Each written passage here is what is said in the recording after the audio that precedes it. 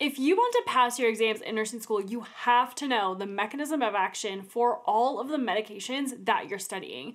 And I am not just talking about your just regular pharmacology exams, I'm talking about all exams in nursing school because you are going to be tested on medications all of the time in nursing school throughout your program and on the NCLEX. So it's so, so, so important that you know your meds inside and out to make sure that you can pass your nursing exams. So here's a walkthrough of the mechanism of action of furosemide. We're gonna talk about how it works and what it does to electrolytes in the body as well.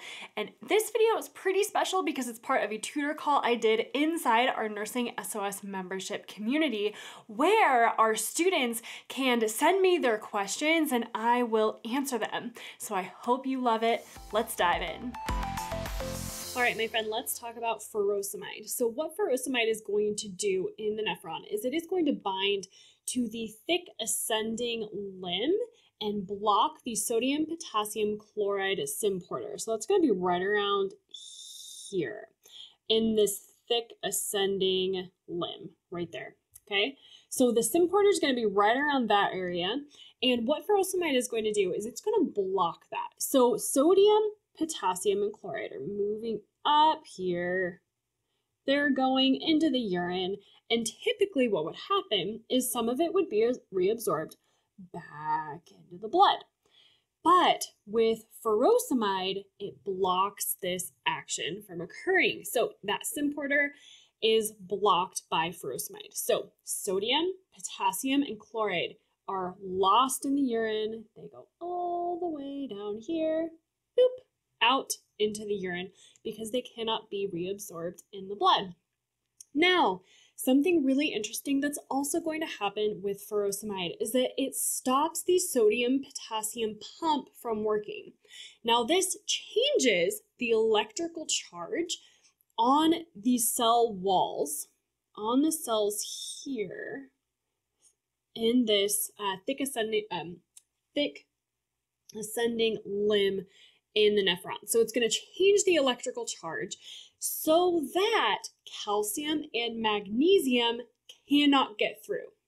Calcium and magnesium, so calcium, we'll write it out here so you can visually see it. Ca2 plus and Mg2 plus. Forgive my handwriting on the computer, not the best.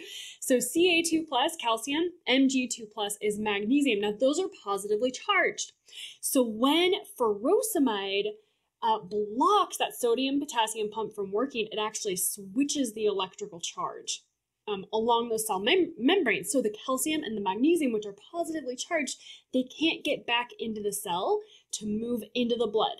So those will also stay in the urine as well, shoo, go all the way down and out into the urine. So overall, we have a loss of sodium, we have a loss of potassium, we have a loss of chloride, calcium, and magnesium from the body because it's just being excreted in the urine. So that is how furosemide works and also uh, other loop diuretics, how they work in the kidney. So I hope that tutor call was helpful for you. If you are interested in joining the NMC and getting access to all of the resources and the videos and the cheat sheets and the study guides that I have for you to help you pass nursing school, I'll put the link to that in the description for you to check out all of the details. And if you're taking pharmacology in nursing school and want to make sure that you pass, click on this video here, my friend, and I will walk you through my top tips to help you rock your pharm exams. And be sure to show your support by liking this video and subscribing to my channel.